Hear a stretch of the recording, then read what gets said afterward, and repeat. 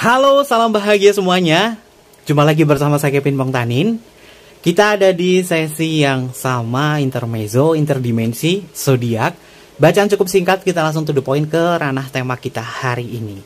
Dan temanya ini kebalik ya. Tadi kita membahas tentang defend maskulin untuk defend feminim. Kita membahas yang terbalik yaitu defend feminim untuk defend maskulin. Temanya tentang sebuah setiakah dia merawat cintamu. Jadi ada pesan apa sih yang akan disampaikan oleh defense feminim terhadap defense maskulin, terutama dari sebuah kesetiaan di sini. Berkaitan itu semua, untuk sahabat kebahagiaan ini bisa menggolongkan bagaimana siapa energi kamu ya. Apakah kamu seorang defense feminim atau kamu defense maskulin di sini? Membedakannya seperti apa? Bisa dibedakan secara jenis kelamin, bisa dibedakan dari segi emosional kamu. Kamu lebih feminim atau kamu lebih maskulin di sini? Temanya tentang setiakah dia merawat cintamu. Oke, temanya tentang setiakah dia merawat cintamu. Dan sebelum ke pembacaan, jangan lupa ya untuk selalu mendukung channel YouTube-nya dengan cara like, comment, share, dan juga subscribe channel YouTube-nya. Untuk kalian yang mungkin baru bergabung, baru menemukan channel YouTube-nya Kevin, Kevin mengucapkan salam kenal ya. Mudah-mudahan kalian semua selalu memberikan energi positif untuk kita semua. Bacaan ini adalah bersifat general, terkadang bisa resonate, terkadang tidak sama sekali ya, bisa tertukar antara energi kamu atau energinya si dia. Berhubung ini adalah pesan yang ingin disampaikan dari defense feminim untuk defense maskulin, Kevin menggunakan kartu yang cukup feminim di sini ya, agar bisa menangkap si energi feminim. Energi feminim uh, berkaitan dari segi perasaan. Oke, kita langsung saja. Bagaimana untuk energinya si feminim terhadap maskulin ya? Ini adalah energinya feminim. Bagaimana untuk energinya si feminim? Oke, untuk energi si feminim saat ini atau energinya dia sekarang yang terlihat kita akan bedah dari si feminim terhadap atau untuk si maskulin. Untuk defense feminim ada kartu King of Swords. Oke. Okay. Ini kayaknya lagi banyak banget kata terserah di sini ya. Si feminim itu selalu ngomong terserah terserah. Ya, energinya si pekok masuk nih. Ada kartu Seven of Coin. Oke, okay. ada kartu Five of Cup Defense feminim lagi kecewa di sini terhadap defense maskulin ya sahabat kebahagiaan. Ada kartu nine of one. Waduh, mempertahankan hubungan seperti ini. Si feminim ngerasa bahwa dirinya dia itu kurang sekali diperhatikan. Dan wah energi kartu akhirnya di sini adalah The Tower. Ini berkaitan, ini kayaknya bacanya Kevin tuh nyambung di tema yang defense maskulin untuk defense feminim. Dan ini kebalikannya si feminim sama maskulin, ini energinya kebalikan. Si feminim juga sama, dia bermasalah dari segi perasaan. Karena apa? Perasaannya itu tidak merasa bahwa dirinya dia diperhatikan di sini. Dan di defense feminim di sini mengalami sebuah sisi emosional bahwa kok aku nggak diperhatiin sama kamu ya mas gitu ya untuk si feminim kepada maskulin. Kevin melihat di sini feminim itu ngerasa bahwa dirinya dia itu lagi sering buat miskomunikasi sama si maskulin. Energi si divine feminim ini sering ngerasa bahwa miskomunikasi itu hadir di sini karena apa? Sifatnya adalah kalian tuh saling uh, ego. Ada sebuah ego di mana egonya ini siapa dulu yang harus dikomunikasikan di sini. Kamu mungkin pengen A, kamu pengen A, tapi dia terkadang menjadi B, C dan D. Si feminim di sini ngerasa bahwa dirinya dia itu kurang diperhatikan dan dia ngerasa bahwa dirinya dia tuh pengen banget ngejalin hubungan itu pakai perasaan. Karena energinya si feminim ini yang Kevin lihat di sini dia ngerasa bahwa butuh sekali diperhatikan. Butuh sekali dimanja di sini dan untuk energi saat ini banyak sekali keinginan-keinginan yang dihadirkan terutama dari ranah perasaannya si divine feminim ya. Dan Kevin melihat untuk si feminim itu menginginkan sesuatu di sini. Terlalu lama menunggu ini membuat dia tuh merasa nggak dihargai satu sama lain.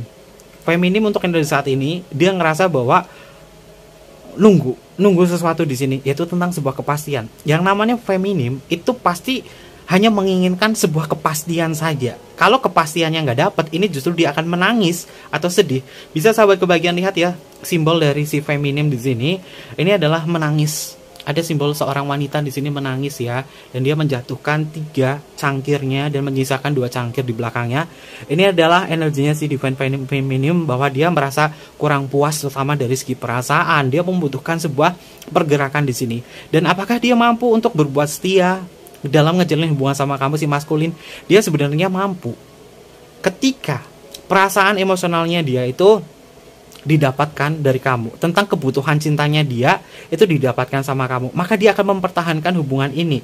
Meskipun dia harus luka dia harus mendapatkan sebuah penindasan dia tetap bisa mempertahankan itu. Yang penting satu aku pengen kamu setia mas itu ini adalah si feminim yang hadir di sini. Dan bahkan di dalam pemikirannya dia tentang egonya dia yang terbesar dia memilih untuk mengakhiri hubungan kartunya adalah the tower untuk sahabat kebahagiaan yang mungkin uh, biasa uh, biasa atau mungkin juga sudah tahu tentang kartu tarot The Tower kalian tahu kan maknanya itu tentang sebuah kehancuran. Kenapa sih bisa hancur se seperti ini? Karena sebuah pondasi cinta kalian itu tidak kuat. Apa sih pondasinya? Yaitu saling mempercayai satu sama lain. Bagaimana kamu mempercayai dia? Bagaimana bahasa kejujuran kalian itu tersampaikan. Si feminim ini juga kurang jujur karena apa? Segala sesuatunya dia tuh pendem sendiri. Divine feminim selalu memendam perasaannya dia sendiri, kurang bisa jujur. Makanya dia hanya selalu bertahan bertahan. Apakah dia yang divine feminim ini kurang percaya diri ngejalin hubungan sama si maskulin? Dan apakah dia bisa menghadirkan kesetiaan? Dia sebenarnya bisa. Kalau dia merasakan keinginannya dia, kebutuhannya itu benar-benar bisa dia dapatkan bukan hanya berarti si feminim ini harus diutamakan atau si maskulin harus diutamakan. Harus ada keseimbangan antara diri kamu dengan dia sehingga perasaan atau keinginannya si feminim itu bukan perasaan untuk mengakhiri sebuah hubungan. Oke, dan kita akan cek lagi tentang energinya si divine feminim ini ya. Dia ini bisa setia nggak sih sama kamu?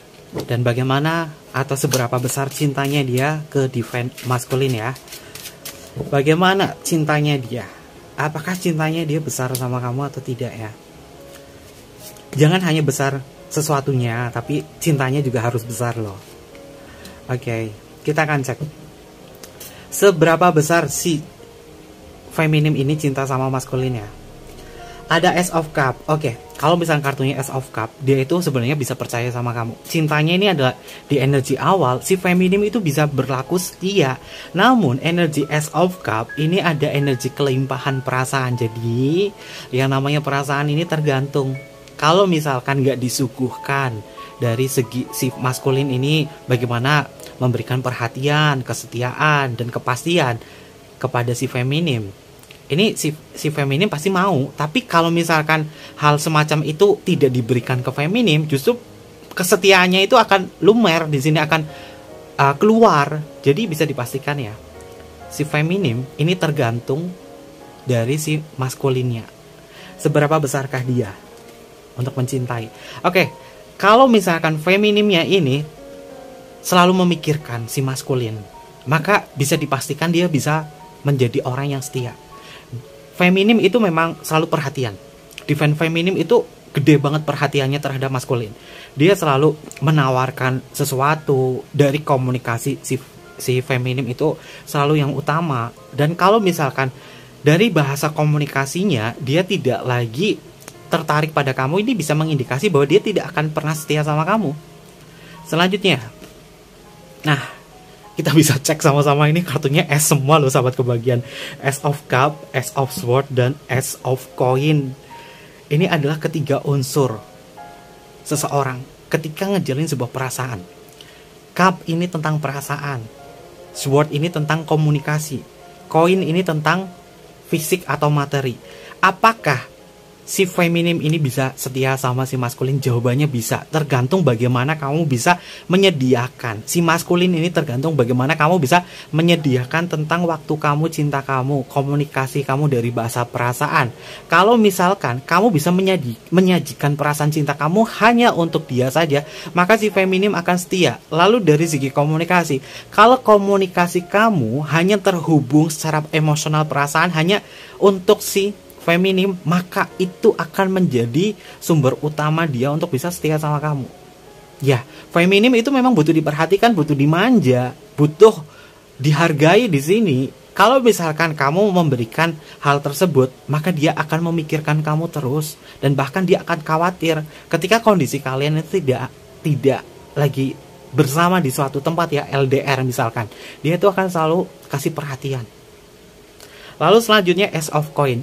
Ketika kamu adalah gairah terbesarnya dia, ketika kamu adalah orang yang benar-benar secara fisik ini bisa membuat dia itu nyaman. Dari segi materi kamu bisa baik sama dia kamu bisa memberikan uang kamu kepada si feminim kamu royal terhadap dia maka dia akan memberikan ketulusan sama kamu karena dia merasa dihargai.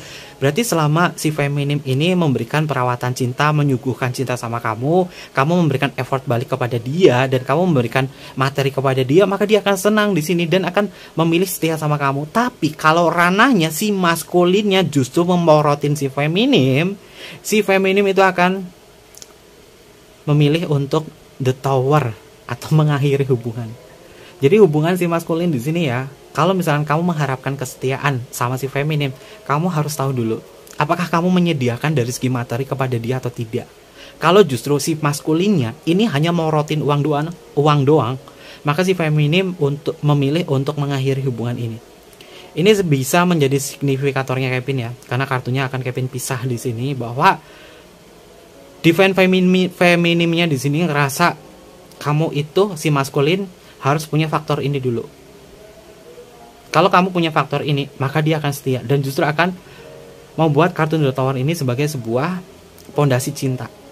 Sedangkan untuk energinya dia saat ini, dia lagi sedih. Dia belum bisa untuk bisa menerima kamu. Mungkin kamu kurang perhatian sama dia. Atau justru si maskulin ini adalah energinya si pekok. Kamu adalah si pekok, kurang perhatian, kurang peka sama dia. Karena Kevin di sini dia itu lagi sensitif banget loh, si feminim itu lagi sensitif banget. Karena ya kurang ada sesuatu hal yang membuat dia ini bisa mengerti. Oke, selanjutnya. Apakah dia ini setia atau tidak ya? Karena untuk energi di sini kamu harus punya poin ini seberapa besar cintanya dia? Seberapa besarnya setianya dia terhadap si maskulin? Tergantung bagaimana kamu menyediakan ini. Dan apakah dia benar-benar bisa setia atau tidak ya? Nanti kita akan cek di kartu terakhirnya di sini. Ada energi apa lagi? Nine of Coin berbagi. Benar kan? Berbagi. Ada kartu Six of Sword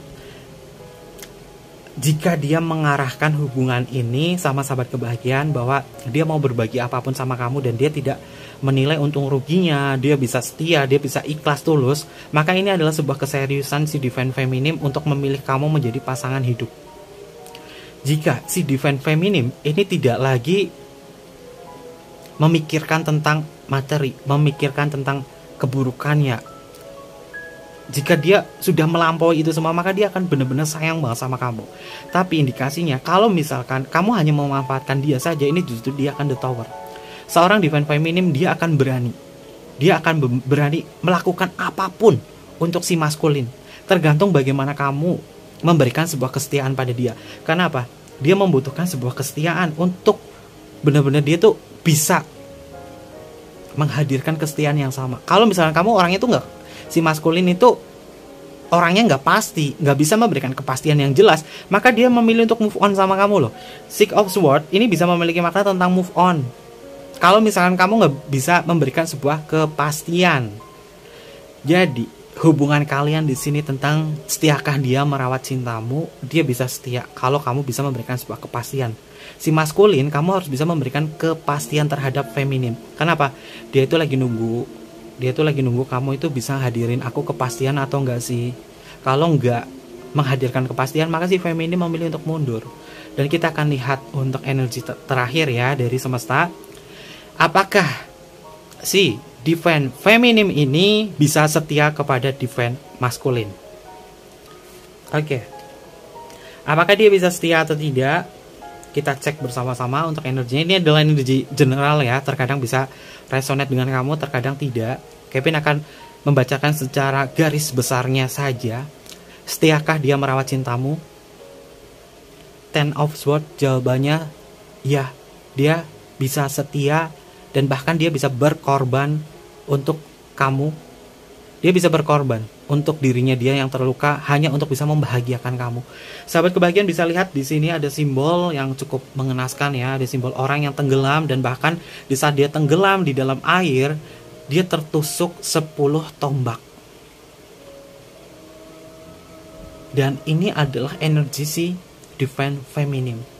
Dia bisa setia, dia bisa mengorbankan dirinya dia untuk terluka hanya demi kamu ketika kamu benar-benar bisa memberikan sebuah kepastian. Jadi bisa dipastikan bahwa menghargai seorang feminim di situ penting sekali ya sahabat kebahagiaan.